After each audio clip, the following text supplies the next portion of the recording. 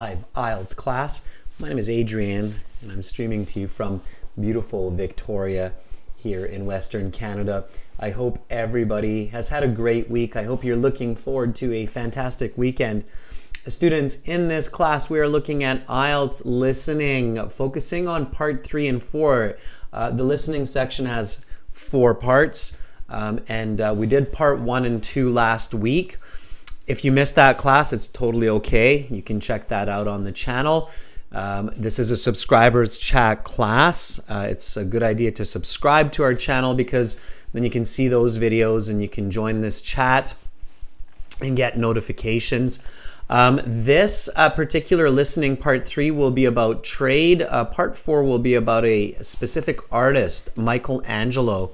And these listening materials, this practice exam, is uh, coming from um, our website, aehelp.com. That's academic IELTS and general IELTS, gieltshelp.com. We have lots of practice exams, courses, strategies, videos on those websites. We're going to use our academic IELTS website in just a moment uh, for our listening. Welcome, Chen. Hi, Anton. Fong, Chayani, good to see many members in the class. That's awesome uh, Zippy, Ridam, Jasmine, uh, Anani, Masha. Nice to see many subscribers in the class as well. That's fantastic. Uh, students, uh, if you have questions about the IELTS or English, send me an email, adrian at aehelp.com, uh, or you can also send my team an email, admin at aehelp.com. We are here to help you succeed on the IELTS exam. We love helping people reach their goals and dreams, getting into university, uh, getting immigration. It's fantastic. Uh, students, uh, we've got uh, two more classes for you tomorrow. We've got speaking part two for members. We've got speaking part three for everybody. Again, make sure to subscribe so you can see this uh, schedule that's uh, here. And to practice your speaking today, uh, check out this recent video that we just put out there. It's a good one. Um, I put the link in the chat there for you. Um, you know what? I'll replace the, the pin. So I'll pin it to the top. And then you can check that out. Um, so, uh, yeah, we've got lots of help Let's get into some listening. Um, this is our academic IELTS website here. This is what we're using for our listening audio today. You can join our premium IELTS uh, course by clicking that big red button that's above my head. It's a one time payment, it's lifetime access. And um, we help thousands of students every day. You can see all of their success stories uh, when you have a minute, it's a good idea. Learn how other people did it, how other people passed the IELTS exam. You can even click on that and then you can see tons and tons of um, success stories uh, from people all around the world. And we're really happy about helping all these people. So become one of our success stories. Um, at the top here, I'm just going into my student account. I'm logged in. I've got premium access, of course, as I should. Um, and then you've got all these goodies here. And today, uh, so you've got the computer-based IELTS practice exams. You've got an interactive course, works on your phone as well, of course. And then we've got this, uh, for those of you who have the course, we're um, going to this tab here. Uh, this is the, uh, the IELTS audio CDs, okay? And uh, this one right now is our fifth exam. So uh, we are going to um, do this one here.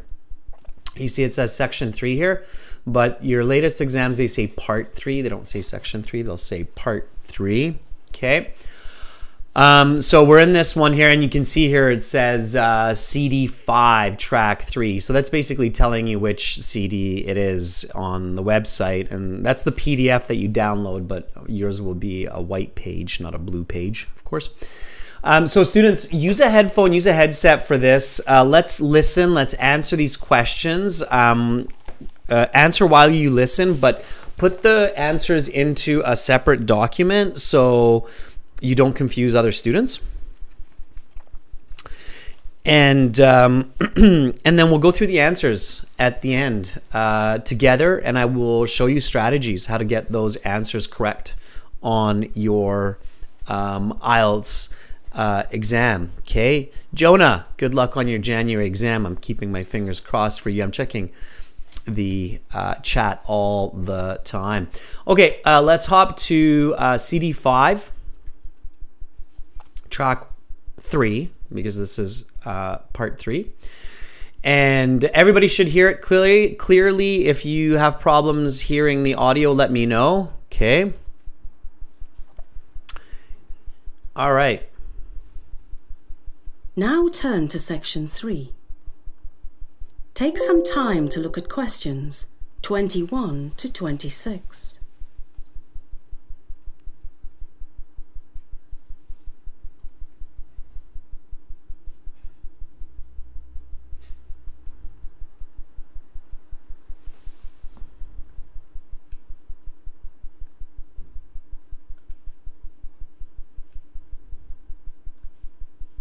Listening, Section 3. You will hear a forum discussion between the moderator and two contributors, Dr. Rachel Young and Dr. Ronald Sturgeon, both political scientists at the local university, talking about trade between countries. Now listen carefully and answer questions 21 to 26. First of all, I'd like to thank Dr. Young and Dr. Sturgeon for taking the time to spend this afternoon with us. Thank you for having us here today. Dr. Young, could you give us a little background on the topic of free trade and protectionism, a little history? Well, countries and nation states have been participating in free trade schemes for millennia. The ancient Egyptians, for example, participated in trade with the Arabians across the Red Sea over 3,000 years ago. The Roman Empire imported many goods from outside their lands, especially luxury goods such as silk, which were only available in China. Free trade, however, though, has much younger roots. Could you define free trade and protectionism for us, Dr. Sturgeon? Free trade is trade between countries without taxes, tariffs, or other regulations attached. Without a free trade agreement, nations charge taxes or tariffs on goods that are imported to their country. This is to protect the manufacturers within their country. If country A, for example, produces a product for a 20% higher cost than country B, country A is likely to impose a tariff on the importation of country B's cheaper product into country A. This is to level the playing field for domestic manufacturers. Free trade advocates want to take down this barrier. In my opinion, advocates of free trade do not care about domestic manufacturers and workers in their own country. I believe their only intention is to maximize profit for big international businesses.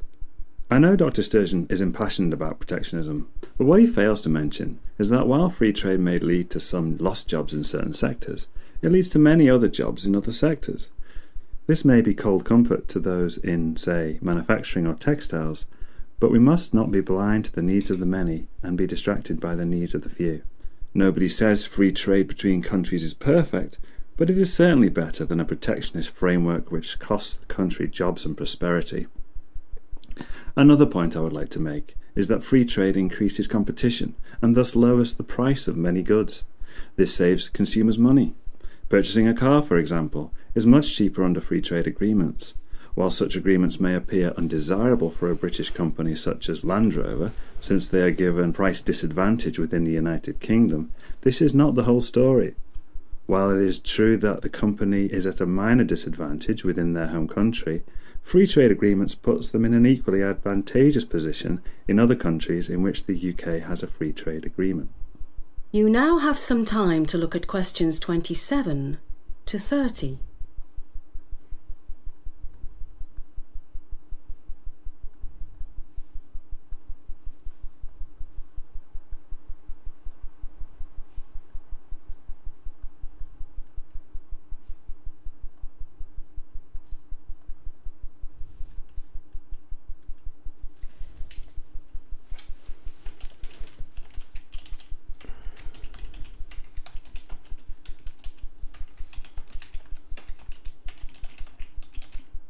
Now listen to the rest of the discussion and answer questions 27 to 30. This is a very interesting discussion. Dr. Sturgeon, from reading some of your work, I know you have some ethical concerns about free trade. Yes, I have a number of ethical concerns. First and foremost, free trade agreements incentivize highly unethical sweatshops. When countries such as the United Kingdom enter free trade agreements with countries with lower human rights standards, we put ourselves at risk of tacitly endorsing those low human rights standards. Is the ability to wear slightly cheaper clothing really worth selling out on one of our most basic beliefs that people should be treated with respect? I agree with Dr. Sturgeon that human rights is an ongoing issue in free trade. Certain incidents, such as sweatshops collapsing and killing dozens of workers, have highlighted this issue in the media and public discourse, but these are isolated incidents. Hardly. These are not isolated at all. And even if such horrible incidents were rare, does it make the conditions those workers work in permissible? Do we excuse horrible working conditions as long as the workers don't die? That's an incredibly low bar, and one I believe we must implore companies and governments to raise. Okay, okay, let's move on. Dr. Young, do you believe free trade betters the life of the average British citizen? Absolutely. I believe free trade agreements make us more prosperous as a society. While not perfect, I truly believe pursuing free trade agreements is a positive step in making our world a better place. Of course, I disagree. While I do not doubt that more wealth comes into our country as a result of free trade agreements, I believe this money never improves the life of the average citizen. The rich get richer and the middle class workers get laid off. Not to mention the ethical issues I have with this. That is the end of section 3. You will now have half a minute to check your answers. All right, everyone. That's part three. Part three is that challenging, okay? Be careful with lots of practice materials online. I hear this from our students all the time. They're like, oh, I was searching for some practice listening and reading materials online and they were so easy. And then I got to the real exam and I was like, whoa, what? It's like that. It's like that. Um, so that's, um, you know, I, we have some people in here who uh, have taken the real exam, and I'm sure many of you will say that, yeah, that's part three can be that kind of a topic to listen to. Um, Sarah, I know that you've taken the exam, our uh, moderator, and Chayani, I think you're in here. You've taken the exam as well. Would you agree? Part three can be that kind of a conversation. It can be that challenging or difficult. Okay, so again, that was coming from our website. Uh, to get all of those exams, you can join the premium package by clicking that big red button. Um, now let's go back to answering these questions. Okay, and I'll show you some of the strategies that I used. Okay, so be ready, students. Part three, part four of the listening. Um, yeah, they're you know they challenge you to understand natural situations, conversations, professors, lectures. Okay. KD, good luck on your exam tomorrow. I just saw that comment. Uh, Chayani says, yes. Yeah, absolutely. Okay. So, yeah, KD, come back and share your experience for sure. Okay. So, um, part one, quite easy. Part two, so so. Part three, part four, they're a lot more challenging for sure. Okay. All right. Um, so let's uh, let's take a look at these questions, and I'll show you what I did okay, for strategies. All right. So again, everybody, I caution you one more time. Be very careful with online example materials that are too easy or materials in classes that are too easy. Um, make sure to practice your listening and your reading with materials that are the same difficulty as the real IELTS exam. Okay. It's a very important tip. Okay, um, so here it's an interview. It has an introduction, it has a beginning, it has an end. Okay, so keep in mind, students, that some of these um, uh, listening parts, so certain listening uh, parts, are um, an interview or discussion they introduce a uh, topic debate the topic, and then come to a conclusion. Okay, this is common for part three. Okay. Because it's kind of, you know, like situations in real life. So in university or at your workplace, these are typical kinds of situations where somebody introduces a topic, you have to discuss it, debate it, good and the bad, and then you have to come to a decision. Okay?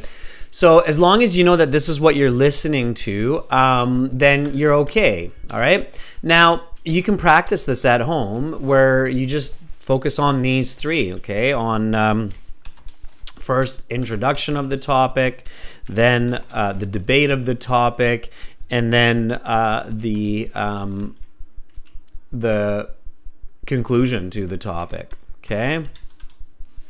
So um, before we even look at these questions, everybody, and before we look at the answers, um, what is the topic in this case? All right. Artist, every exam is the same difficulty. It's not like the one on the 24th will be more difficult. Okay. Okay. So what is the topic? Chen says free trade. Um, not quite, Chen. Uh, Fuang, right, it's trade. Okay. Um, and um, what are the two subtopics? Trade.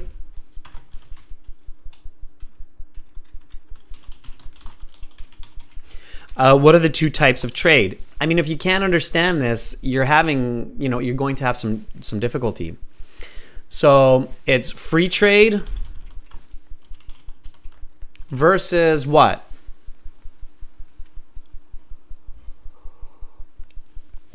Yeah, Alexander, it's international trade. So it's trade between countries. Yep, you're right about that. Trade, international trade.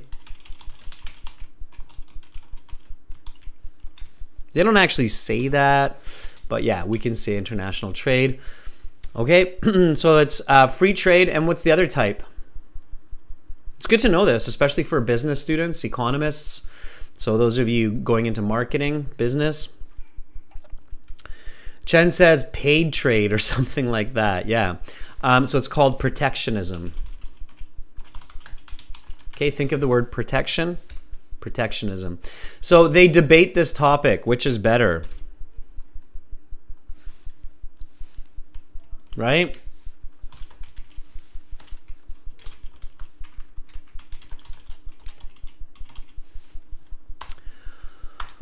All right. Um, so why is free trade better?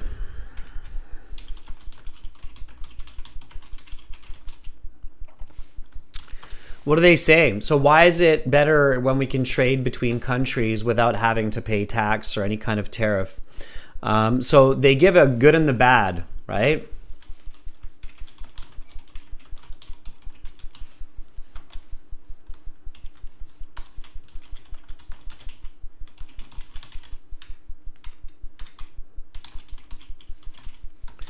Uh, students, again, you do have to understand the main ideas of your listening. If you can't, you're not going to get a good score. Okay, uh, by trying to uh, hear keywords um, or um, phrases and match them, you're not going to get a good band score. Those days are done. Uh, exam technology has progressed a lot, and the days of I'm going to get a good uh, score on the listening by matching some keywords, those are finished. Those finished with TOEIC. Okay.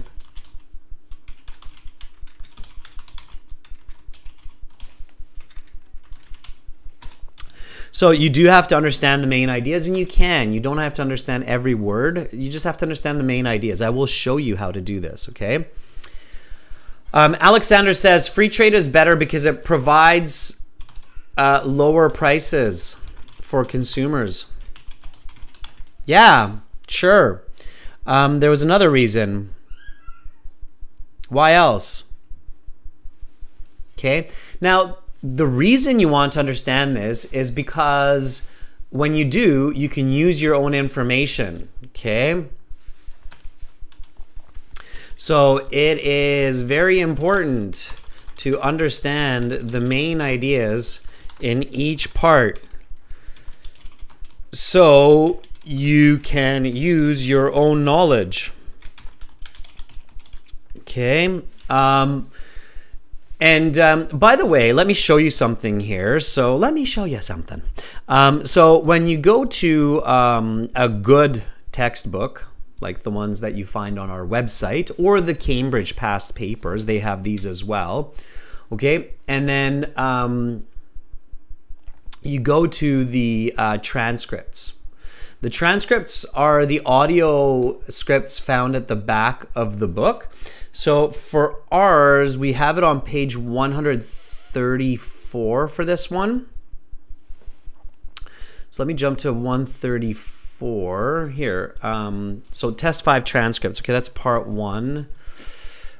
Uh, part two. Part three. Okay. So there's the transcripts. Okay. Uh, you can see it here, CD5. Okay. All right. Um, so uh, it says, you know, now turn to section three. Take some time to look at questions 21 to 26. Listening section three, you will hear a forum discussion between a moderator and two contributors. And then it keeps going. And of course, logically, the moderator introduces the speakers and the topic. Okay. So here the moderator says, Dr. Young, could you give us a little background on the topic of free trade and protectionism? A little history. And Dr. Young says, well, countries and nation states have been participating in free trade schemes for millennia. Okay. And then they keep going. Okay. And then the moderator here says, um, could you define free trade and protectionism for us, Dr. Sturgeon? So here you have free trade and protectionism. Here, the moderator introduces the debate topic. Okay? When you're practicing IELTS listening, and in usually in part three, sometimes in part two, you'll have this kind of a comparison type of topic where you compare A to B. Okay.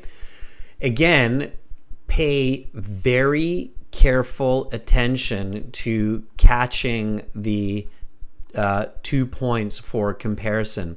Sometimes what happens to candidates on the IELTS exam is they're not really paying attention. They're only trying to hear keywords. They're not thinking about the big ideas or the main ideas and they don't catch the comparison and then they're just like what's happening? Of course right? Like what's happening? If you don't understand it you're going to be like what's happening? Okay? So um, make sure you you capture that comparison because now you know that okay we've got two sides. We've got free trade we've got protectionism. So in this audio they're going to be talking back and forth about these two sides. And then you will be able to do this where you'll be able to go, oh, okay, so why is free trade better? It provides lower prices for consumers, it increases competition. Okay, why is free trade bad? Because it um, promotes uh, division of wealth. So it promotes rich to get richer, uh, poor to get poorer, destroys local economy. Okay, so, and more or less that's what they say. Now, if you know this, right, that's even better. If you're like, oh, I'm studying economics, this is my thing, this is my cup of tea, then, um, then that will help you even more as long as you catch it, right? Why is protectionism better? Um, because um, sorry, protectionism is uh, better because it protects uh, local producers. Okay, um, and it's bad because um, businesses leave.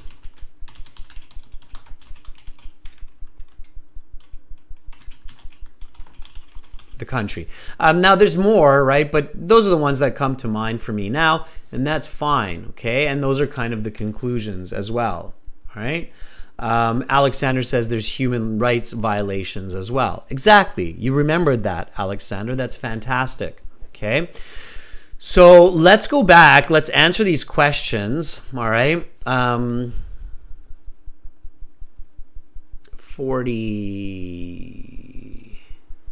47. There we go. Okay. So we'll answer these questions. Before we got into the answers, again, just uh, to reiterate, it's very important that you understand. You can't just match sounds and match words um, to get a good score. So here, uh, question 21 How long ago was the first record of trade between nations? Um, what does the speaker say? Okay, now they have the measure, they have the measure years, so you don't need to put years. If you write years in your paper based exam, you're going to get it wrong. Zippy Chen Fuang Pujan Samantha 3000. Yes, it is. Okay, so the correct answer here is just 3,000 years ago.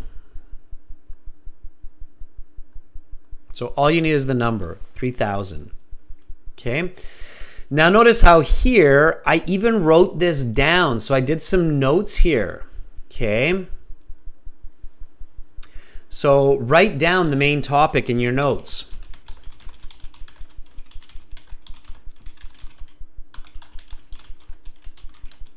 Okay, you shouldn't take a lot of notes in the IELTS because you have to answer while you listen, but you should write down notes, for example, on the main topics like uh, free trade versus protectionism. Okay, so now you have a flow chart. In the flow chart, identify key points that are easy to listen for, like 20% higher than country B. Okay. So here, um, a company in country A imports the product. If the country does not have a free trade agreement, the company must pay uh, what? Pay attention to the words that come before the blank and after the blank to import. So here, the correct answer is tax or tariff. Both are okay. Tariff is the exact word, that's the sure word, but uh, tax is okay as well, right? This is to level the playing field. Um, students, candidates, when you see these uh, quotation marks, what does that mean? So in the uh, question booklet, when you see these quotation marks, Quotation marks are those little cat ears. We call them little cat ears. So when you see this quotation marks, what does what does that mean? What do those mean? Uh, Anahita, yeah, tariff and tax are the same. They're the same. That's why you can use both.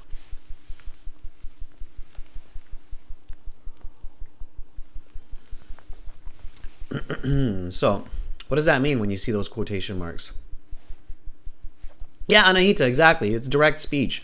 So if it's direct speech, what does that mean for you, the listener? Because, of course, the questions in the question booklet are not the same as what you're hearing. You notice that, right? When you're practicing odds, that they're paraphrasing. They're using different words in the audio than what you see on your, in your question booklet. It means they will use the exact same words. Okay, so you will hear that exact same phrase. right? So when you see the quotation marks, you know that one of the speakers will actually say level the playing field. That's the only time. All right. It's very important that all of you understand this clearly. Okay. Um, the only time the only time you are guaranteed that you will hear the exact same words in the audio, in the IELTS audio, as what you see in your question booklet or on the screen if you're doing the computer based exam or on the computer screen is when you see the uh, quotation marks. Okay, otherwise, most of the audio will paraphrase the information in the questions, meaning they will not use the same words.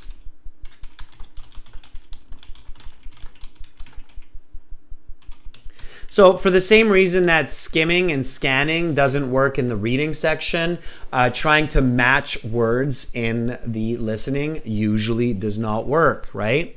Uh, quotation marks show direct speech. They're basically showing you that somebody in the audio will use these words exactly. Okay? Everybody got that? So everybody clear on that? All right? So here I see the quotation mark, so I know that I'm listening for this exact phrase, level the playing field, because it is an idiom and I have to listen for it and catch where they use that idiom. Okay? So Rakwea Chen Anahita say yes. So I have to be like, okay, when are they going to use that idiom? I have to, because if I don't know the idiom, I have to really pay attention to the audio. And then I hear it. So they say level the playing field for somebody. Okay? For who? Anybody catch the answer for 23?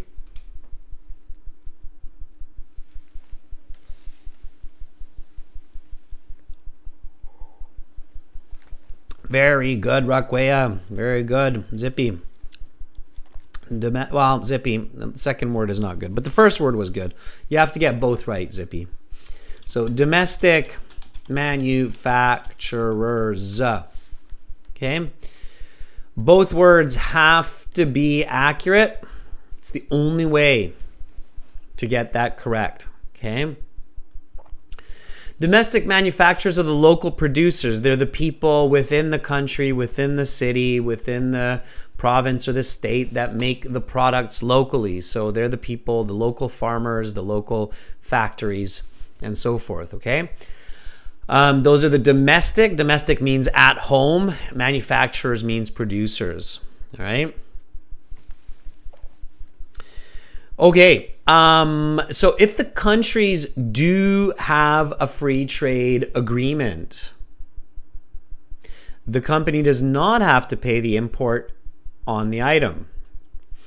Uh, some advocates of protectionism believe free trade advocates are only worried about maximizing something. Now, here's they, don't, they didn't say large corporations. Anybody remember what they said instead of large corporations? Yeah, Fuang Chayani, everybody says, okay, the answer is profit, maximizing profit. Yeah, profit is correct. Anybody remember, um, so a little bonus question here, what they said instead of large corporations? LTD says big companies. Almost. It wasn't big companies though, LTD. I don't think it was. I'm going to check, but I, I remember something different. Raquia says international, international companies. Now, this is where you want to practice your ability to catch paraphrasing and then of course learn the new vocabulary. So I I think I think it was big businesses. Okay. Uh, but you know what? Let's check. Uh, we can do that pretty fast. Again, um, you can check this by uh, going to uh, the transcripts. It's on page 134. So let me, oh, a little bit past it. Yeah, so here somewhere. Um,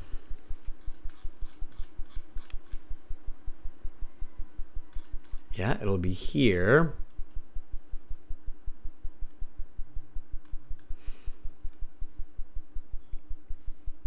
Yeah, okay. Somebody says I see it was a good combination. So here it is. Um, you can see in the transcripts, um, it gives you the uh, answer. It shows you number 24. This is where you find the answer from the audio. And then um, it says, I believe their only intention is to maximize profit. So there's your answer, profit, right? Um, and then here's the paraphrase big international businesses. Almost got it. A couple of you got the international part. Chen says huge companies. Uh, nope, Chen, that was only in your mind. okay. All right.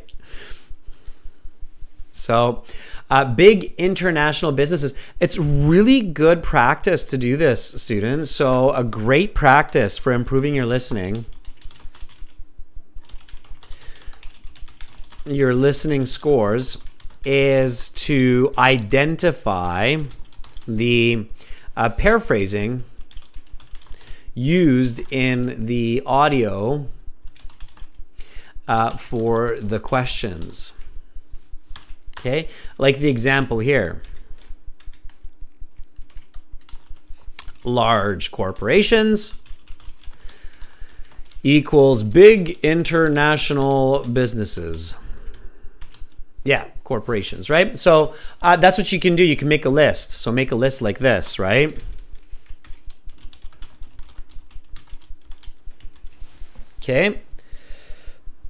Alexander, yeah, we've got lots of different names, but what we want to do, uh, we can say multinational enterprises. So there are lots of ways to say big corporations um, conglomerates, etc. But what we want to do is we want to identify the paraphrasing used by the IELTS audio for the questions. Okay, that's uh, and for the question booklet. That's that's a really good way to do it. Okay. All right, let's hop on back to the um, questions here. Whammo! There we go. Look at that. We're just zipping through it all. Well, that was maybe a bit much. all right. Let me do it a little bit differently here. Uh, okay. Calm down a little bit, right? Calm down a little bit. Okay. There's my little box. All right. Okay. 40 there. All right. Just organizing. A lot, a lot of moving parts here in these live classes. Okay, um, so uh, profit, that's the end of our uh, flow chart. When you're doing the flow chart, just one last point on that. If you miss an answer, don't stop, don't freak out, keep going because if you don't, the flow chart is done and then you'll never get it back, okay? Chen says, like a rocket ship. Um, all right, uh, so number 25, let's do this. Uh, some people, so here, no more than three words. Always pay attention to the instructions and or a number. Okay. Uh, some people will lose their jobs under free trade agreements, but we must emphasize the needs of the something and not be sidetracked by the needs of the.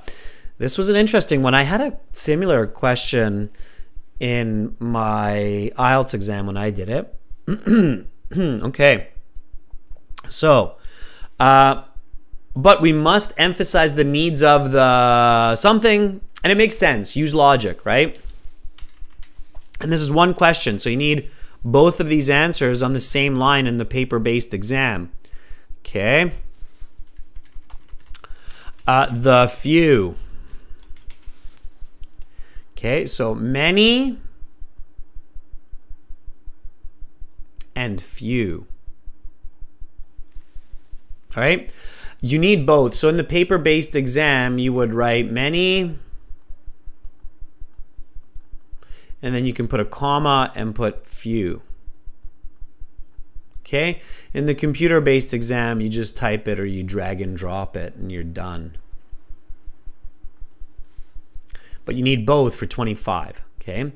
Uh, free trade lowers the price of many goods because it increases what? What does uh, it increase? And again, if you understood the topic, the pros and the cons, you probably got this correct. Yep, don't write money, Chen. Don't write money. You got to get the right answers. Many and few. Number 26 is competition. Yes, it is competition. Okay. Uh, now we're into the um, we're into the uh, the table completion here.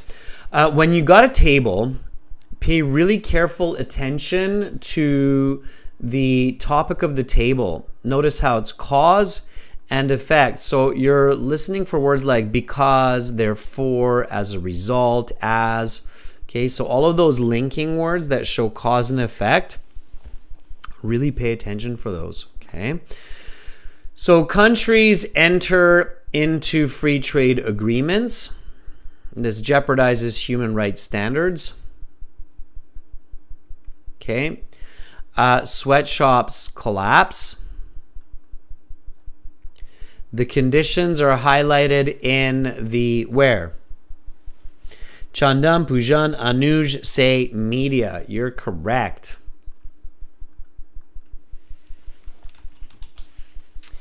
They're highlighted, they're shown in the media, right? The realization that such incidences are not isolated, so they don't just happen once, implore companies and something. So if it's companies,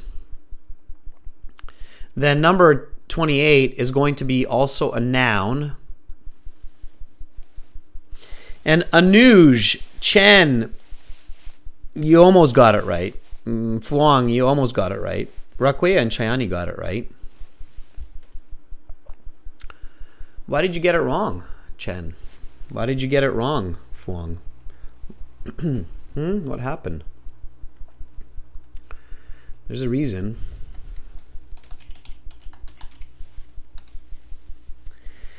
That's right, Chen. It's the missing S. Notice that I even highlighted this for you. Companies. Okay. If you miss the S, it's not plural. If you just have government and you don't have the S, it's wrong. It has to be plural. There's a rule in English. Nouns have to have parallel grammar when they're in a series. So if this is plural, this has to be plural. If you're in the paper-based exam and you miss that S, or if you're in the computer-based and it's a typed answer, you miss the S, you lose that mark on that S, unfortunately. But that's the way it works. That's the language. That's the rules of the language. Okay. So implore companies and governments to raise the bar. Okay. All right. So correct word governments with an S countable. 29 and 30. Um, trying to read all this with the audio playing is almost impossible. I don't want to say impossible, but almost impossible. So I'm not going to read this while I'm listening to the audio or this for number 30. Okay, what I'm going to do is I'm going to pay careful attention to the question what is Dr. Young's main point in advocating for free trade? And then I'm going to capture the answer.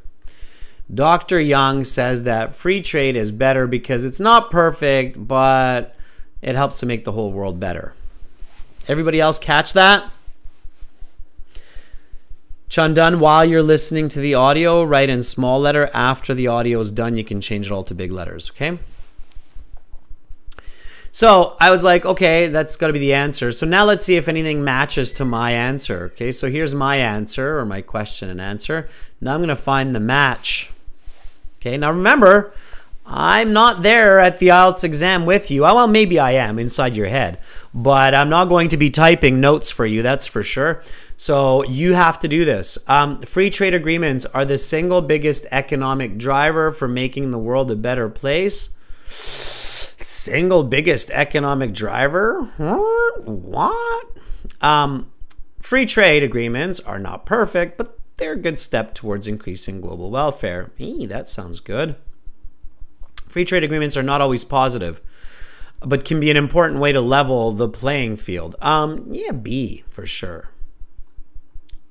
Okay, so if you got B, you're good, you're golden. All right, everybody got that? So, what's the trick with multiple choice? Pay attention to the question, capture the answer. Okay? You will not be able to read all of the choices in time. And by the time you do read all the choices, you're going to miss the answer. Did everybody catch that? Take a note, especially when you have really long answers and lots of them. Okay, you cannot catch the answer. So I did the same thing here. Um, what is Dr. Sturgeon' main point for protectionism? I took some notes. Uh, Dr. Sturgeon says the wealthy get wealthy, average citizens don't benefit, they lose their jobs, something like that. Okay, um, so uh, let's see if anything matches. Overall wealth is increased in society. Mm, no, that doesn't make sense. Middle class jobs are the foundation of the economy that works for the few and not just for the what?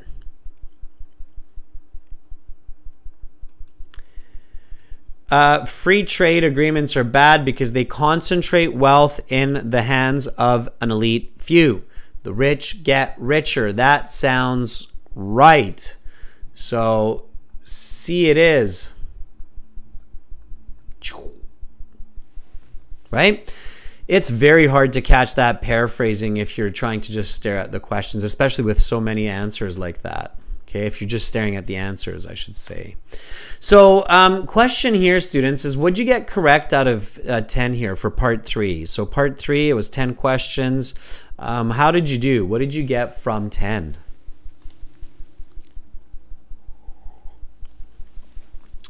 Chen says eight because of silly mistakes. Well, don't worry, Chen. That's what the review time is for. So, missing S's, uh, writing money instead of many you can fix those uh, in the review time. So just pay attention. Fix those in the review time, Chen. Owal says 10 out of 10. That's fantastic. Alfaz says 3. Like caramba. Um, Chandan says there's a problem from Nepal to pay. Uh, send me an email, uh, Chandan, and I will help you out. Uh, Fuang says seven to ten. I'll, te- I'll I'll test that with our VPN, Chandan. I'll see if I can pay from Nepal. Okay. Nepal pay test. Got you. Okay. Um, students, you should be going for like six or more. Okay, six or greater uh, for um, your part three. So if you're getting less than six in part three, more practice, more checking your paraphrasing, more learning strategies. Again, you can do that on our websites. Okay. All right, let's go back to the website. Again, um, you can join our premium version of our website by clicking the uh, big red button there. We're an IELTS test registration center. You can see that you can register in some countries. Uh, we're a British Council partner and IDP affiliate, so you're in a good place with us. Um, when you join our premium package, go to your My Student account and you will see audio CDs. And we're going to listen to part four and answer some questions. So, everybody, get your headphones on, put your earbuds in, turn up the speakers, and let's get listening. Um, you do have volume controls, by the way, in IELTS, or you should. Okay, um, don't crank it too loud. Uh, make sure you have a good, comfortable, clear volume. Okay, not too loud, not too quiet. All right, um, so here we go. If it's really loud, it will actually um, uh, impede your thinking. So not too loud, okay?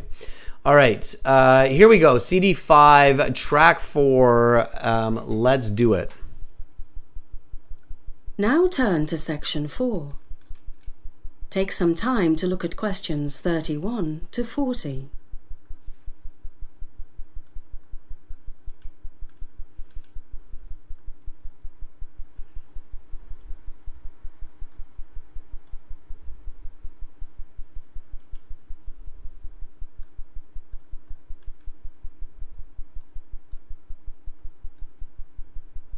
Listening Section 4 you will hear a university lecture on the famous artist Michelangelo. Now listen carefully and answer questions 31 to 40. Good to see you all. As you know, we're having an exam a week from today. Material from today's class will be included on the exam, but material from the final two classes of the week will not be included. I hope this will give you an opportunity to revise enough to perform well on the exam. With that administrative business out of the way, I'd like to begin today's lecture on the lesser known works and endeavors of the famous Italian Renaissance artist Michelangelo. While Michelangelo is best known for his painting of the ceiling of the Sistine Chapel, he was also the creator of a number of other highly respected works. Among these are the Pieta, a statue of Mary holding a deceased Jesus, and the statue David, said to be the representative of the perfect male form. But Michelangelo was not just a painter and a sculptor. One of his crowning achievements is St. Peter's Basilica, a project he was lead architect on for the 17 years preceding his death in 1564. While the basilica wasn't completed until 1626, over 60 years after his death, Michelangelo's influence on the structure was immense, as he had laid out many plans for the structure during his lifetime, many of which were faithfully carried out under the reign of future popes and future architects. Michelangelo's fingerprints are all over modern Rome, and especially what is today Vatican City not only through his paintings, frescoes, and sculptures, but also through his architectural achievements. In addition to his influence on St. Peter's Basilica, Michelangelo also redesigned the famous Capitoline Hill area of Rome and designed many chapels within the walls of the Vatican. Michelangelo was also tasked with a number of pet projects over the years. These projects were not one that the man himself wanted to undertake, but was compelled to because of monetary considerations or simply loyalty to the Pope. For example, when Pope Julius II ordered him to construct a three times life size bronze statue of the Pope, Michelangelo had no choice but to accept. The project took up more than two years of his life, and four years after its completion, the work was unceremoniously melted down to construct cannons. Additionally, the conditions under which he was made to work were often sorely substandard. For years, he lived and worked with four other men in a cramped apartment with little to no privacy and no room for his creative juices to flourish. It is interesting to imagine what a genius such as Michelangelo could have accomplished given reign over his own creativity. I personally believe the world is a poor place for him having not been allowed this luxury. However, on the other hand, Perhaps Michelangelo's sometimes tortured life imbued his works of art with something more than just artistic genius. Although Michelangelo is a celebrated figure for his works of art and well respected for this architectural acumen, his literary works are virtually unknown to the world. He was a virtuoso of Renaissance art, celebrated in his lifetime and venerated centuries after his death, but his writings never made an impact on the society in which he lived, nor in the years since. Michelangelo was an avid writer of poetry and found that poetry was an invaluable escape from the grind of his everyday work life, especially during the years spent arduously painting the ceiling of the Sistine Chapel. Poetry provided an outlet for his frustrations, fears, beliefs, and desires. Those who want to know the real Michelangelo must go beyond his frescoes and sculptures and dig deep into his personal writings. There, one will find a rather tortured soul harmed by years of physical, political, professional, and personal strife. That is the end of section four. You will now have half a minute to check right. your answers. Check those answers. Let's stop the audio. Again, um, students, on the website you'll see lots of uh, services, and if you see this um, this red uh, dot here or this red button. It means you can uh, register for your at-home IDP IELTS exam through the website. Okay, if you don't see it, it's because it's not available in your country yet. Okay, everybody. Um, so let's uh, let's check these answers out. Let's see what's going on.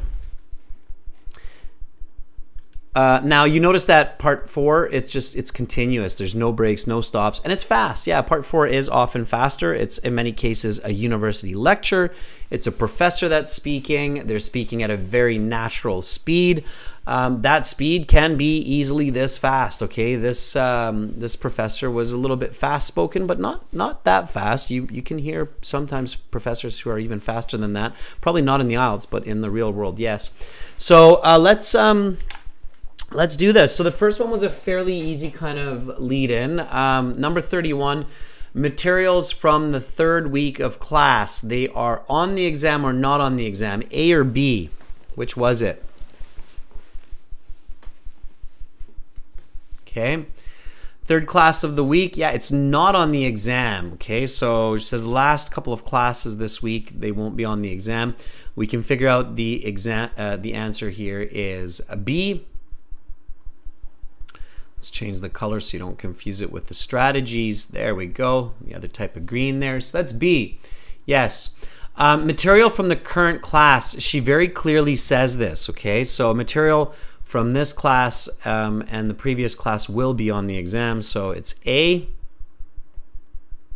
Okay. So it's B and A. Okay. For 31 and 32. And then she goes heavy into the topic of the famous um, architect, painter, sculptor Michelangelo. If you don't know who Michelangelo is, well, here's your chance to learn. Um, listening part four will often introduce new information that most people will not be familiar with. So be ready for that. Okay? Everybody heard that? That was a really important point. Thumbs up. Okay. Part four of the IELTS listening will introduce new information that most people are not familiar with unless you're lucky. Okay. The goal here is the IELTS exam is checking how well can you understand new information. Clearly, for a lot of people who are doing the academic IELTS, they need to be able to understand new information in English in their classes. So they're not trying to be mean. They're not trying to trick you. They're trying to prepare you or see if you are prepared enough to do university or college. Okay. Also, if you're going into some jobs, you ha- obviously have to be able to understand new information. So, um, here, uh, let's do it. Other works, pay attention to the topics. Okay. Follow along, a lot of it is paraphrased. While Michelangelo is perhaps most famous for painting the Sistine Chapel, he is also famous for a number of other highly respected works, including the Pieta.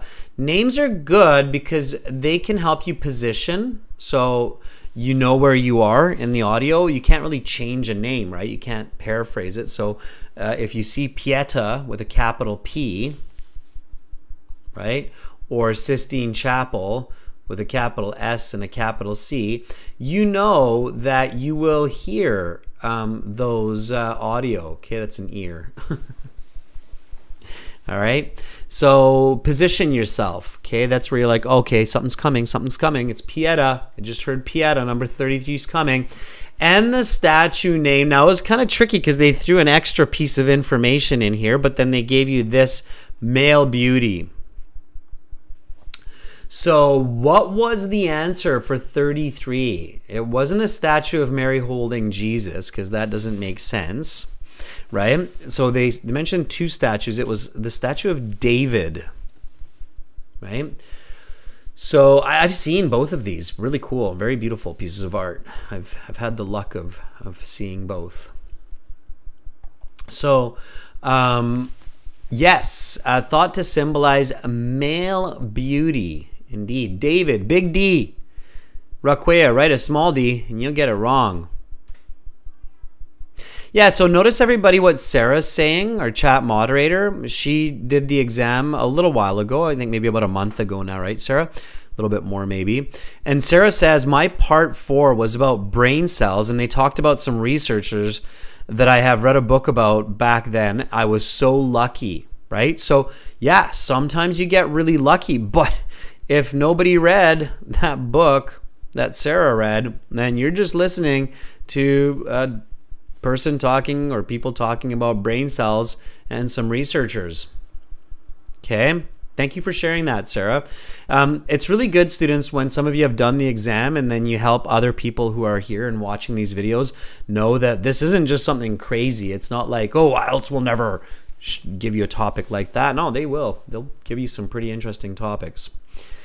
Okay, architectural achievements uh, far more than just a painter. Michelangelo was also an architect. He was lead architect on st peter's basilica for something until his death. Um, yeah two words 17 years. That's right until his death in 1564, though the structure was not completed until 60 years after his death.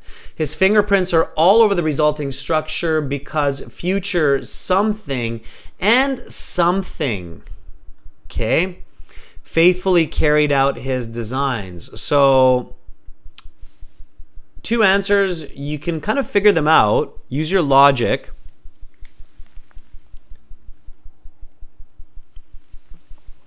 Uh, Anahita, if you misspell those nouns, you will get it wrong.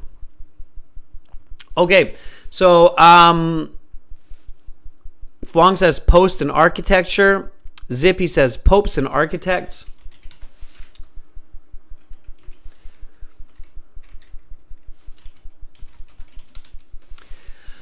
Do we have the word popes and do we have the word architects in this summary? Yes, we do. You see it here. Pope. Pope. How is Pope spelt?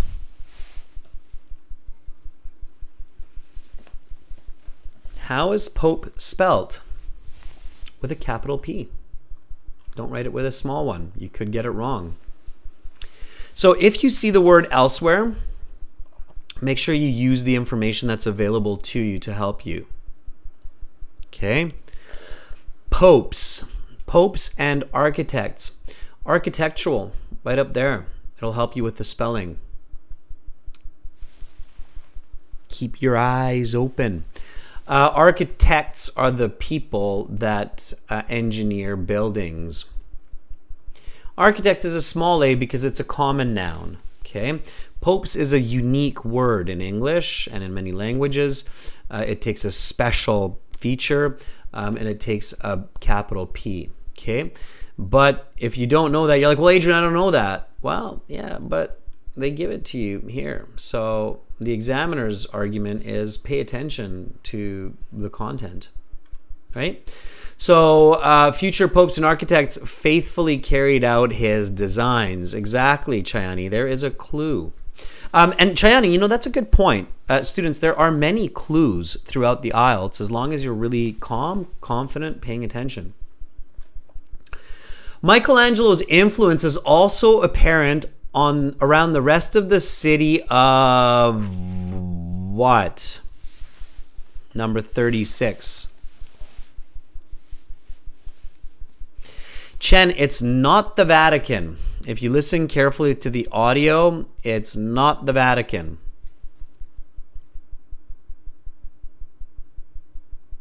Okay. Alexander, that's right. Rome. It's the city of Rome. It's a tricky one. If you know your geography, and this is where it helps, you know that Vatican City is inside the city of Rome. Vatican City is quite small, or Vatican State even. It's quite small. Um, but it's inside the city of Rome, and Michelangelo's works aren't just in the Vatican City, they're all around Rome. And if you pay attention to the audio, you go to the transcripts, I'm not going to go there again, but if you go to the transcripts, you will see that the speaker says you can see Michelangelo's works all around the city of Rome, not just in the Vatican City. Okay? And then another um, word here to help you position Capitoline Hill.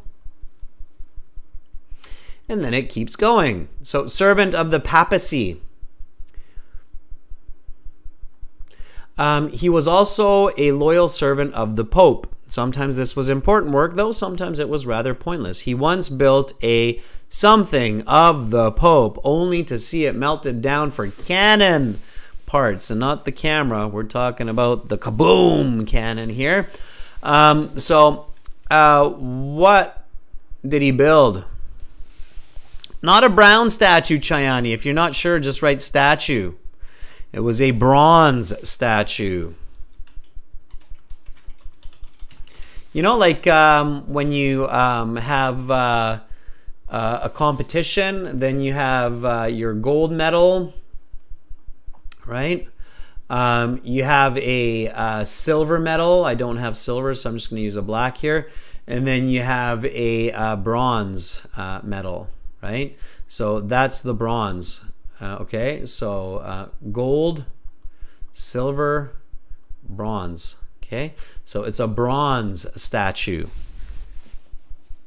Okay.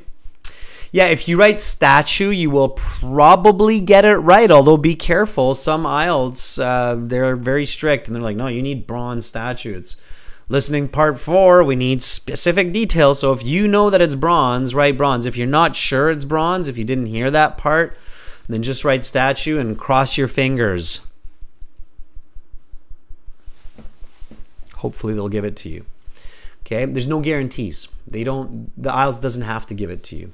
They can say nope. We only give it to bronze statue. Okay, only to see it melted down for cannon parts. What a shame. Um, moreover, the something he had to work in. This was kind of this was catch the word right. So if you got this, you got it. Uh, conditions, plural. You got it. You got it the conditions, plural, plural, plural, plural, conditions he had to work in were often substandard, often being forced to live and work in small, cramped places with a number of other men. Literary works. It is interesting to think what he could have made if he was given the freedom to explore his own. Number 39. Anybody Creativity, that's right. Okay. While his life may have been difficult, some people argue that this difficulty made him a better artist. Something was an important way to escape the difficulties. They don't they she said it very differently. She said it was an important outlet to come to terms with his challenging life or something like that. Um, but she did say the answer very clearly. Um, anybody get that? LTD, it was not polarchy.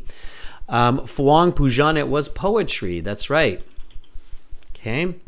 So poetry is the right answer. Wrote some poems. Michelangelo's. I've never heard about it myself, but okay, Michelangelo's poems. All right. Um, so those were the right answers. Uh, part four, definitely practice it so you can get a lot of answers correct. Uh, students, what did you get? So, what was your score from um, from forty? If you well, from ten, sure, but um, ooh, we've got lots more colors here. Let's go purple. Uh, nah, it's too dark. I've just realized I've got more colors to play with. I even have sil. I could have done silver. Look at that. I just found silver. Um, so, uh, what did you what did you get out of uh, ten? Pujan got nine. That's great. LTD got six. Yeah, if you're getting six, seven, eight in part four, you're doing good. Um, what did you get out of forty? if you were here last week for part one and two. If you missed that class, it's on the channel, so just check it out. Uh, last week, you'll see listening part one and two. Those are the first two parts of this exam. Okay. Uh, Chayani, 33 is great. Okay. LTD, yeah, six is not bad for part four. Okay. All right. Um, yep, Sarah always getting a little bit fun and fancy. Uh, Pujan, good luck on the exam tomorrow. Hey, Pujan, you got 9 out of 10 on this part. You're going to be doing just great. You've got nothing to worry about. Okay. Anahita says that's not silver. That's gray. Come on, give me a break, Anahita. Uh, silver and gold are not really colors, right? They're gradients. Um, okay. Um, so uh, if you got you know 33 that's fine uh, students um, if you're on the website okay at the very very bottom there's a score calculator you can you can check your score if you got 33 it'll show you that Ooh, look at you you got uh, 7.5 okay um, if you got more if you got like uh, ooh, let's see 38 you got 8.5 uh, Fuang if you got 30 you got a 7 okay so check the score calculator on the website. Again, uh, students, uh, the listening materials were from this website as well. And um, you can get the premium package by clicking the big red button there. It's a one time payment, lifetime access. We don't believe in trying to charge you every month. That's ridiculous. Who knows how long it will take you to pass the IELTS? So just pay once, start studying, start learning, click that big red button, and you're golden. Um, for the general IELTS, uh, the green background, okay, click that big uh, red button there. Tomorrow, I'm back um, with um, speaking uh, part two for uh, members, and then a speaking part three for everybody. Okay, so check out the classes tomorrow. Uh, aehelp.com, glshelp.com. That's the ticket to your great band score. Uh, Sarah, thank you for moderating the class. Chen, Chayani, Fuang members, thank you for the great participation. Anahita, LTD, 54. All of you wonderful subscribers, thank you for your support. And uh, for those of you, Pujan, doing the exam tomorrow, best of luck. All right. Fingers crossed that you do a great job. Be you, be confident. Much love to all of you wherever you are in the world right now. Keep up the good work. Goodbye, everybody.